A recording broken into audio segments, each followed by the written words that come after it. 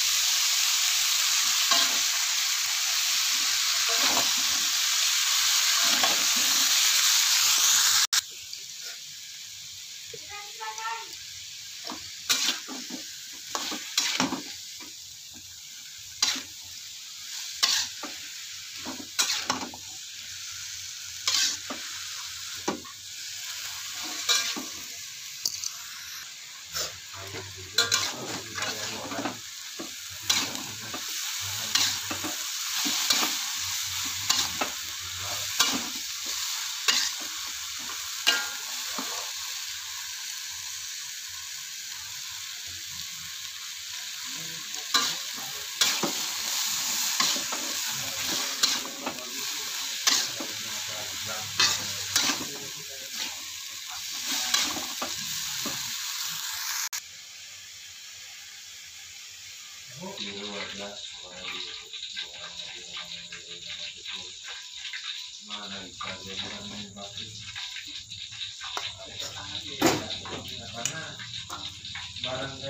kalau bapak tangan luar.